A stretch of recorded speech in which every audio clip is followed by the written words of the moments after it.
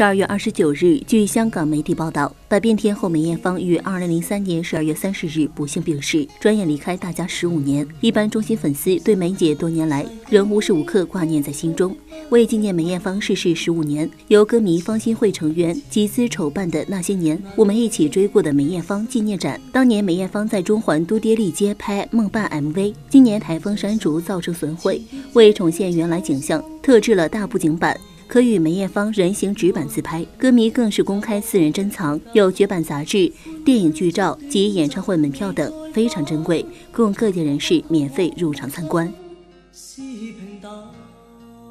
非凡娱乐实时报道。